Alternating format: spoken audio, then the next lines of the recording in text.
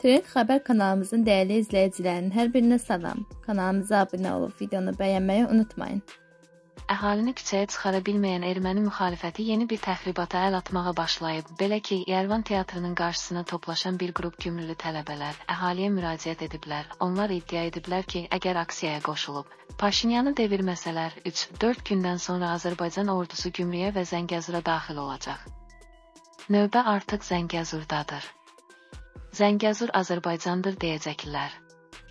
Biz biganə olsaq 3-4 gündən sonra Zəngəzur Azərbaycanın olacaq. Əlavə edək ki, ermənilərin belə qaraşılıq etməsi ilk deyil. Onlar illərdir bizim torpaqlarımızı işğal edib, etmədikləri zülm qalmayıb. Elə zənn edirlər ki, biz də onlar kimiyik. Bu ağılsız və cahil topluma dəfələrlə demişik ki, Azərbaycanın heç bir ölkənin torpağında gözü yoxdur.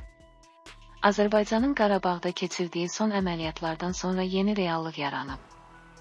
Cəmazinfo xəbər verir ki, bunu Beynəlxalq Böhran qrupunun Cənubi Qafqaz üzrə baş analitiki Olesya Vartanyan kommersanta müsahibəsində deyib.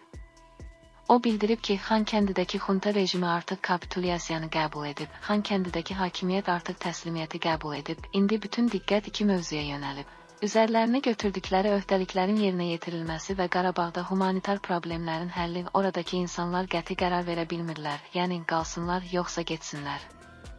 O, əmindir ki, toqquşmaların qarşısını almaq mümkün olsa və Azərbaycan yerli sakinləri qala biləcəklərinə inandısa, o zaman Bakı və İrəvan yaxın vaxtlarda sülh müqaviləsi imzalaya biləcəklər. Ancaq Vartanyan deyir ki, hələlik həll olunmamış çoxlu məsələlər var. Silahsızlaşdırmanın və yerli hakimiyyət orqanlarının ləğvinin necə baş tutacağı bəlli deyil.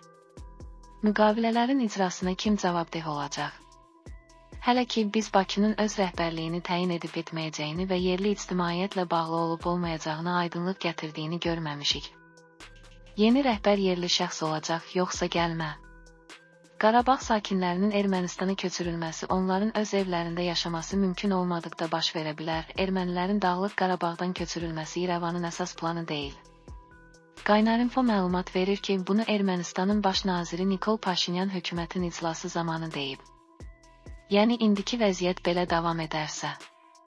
Bəli, hazırda bu qeyri-mümkünlüyün olduğunu düşünürük. Vəziyyət yaxşılaşmasa, o zaman problem gündəmimizdə olacaq. Ancaq nəzərinizə çatdırmaq istəyirəm ki, hələ sentyabrın 19-unda aksiyaların başlandığı gün mən baş nazir müavini Tiqran Xaçatyana göstəriş verdim ki, hökumət tərəfdaşları ilə Dağlıq Qarabağdan insan axını halında həmvətənlərə necə kömək etmək məsələsini müzakirə etsin, Paşinyan deyib.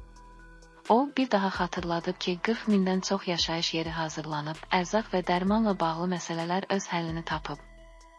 Biz hazırıq və hazırlaşmağa davam edirik. Bu Dağlıq Qarabağdakı həmkarlarımızla razılaşdırılmış mövqedir.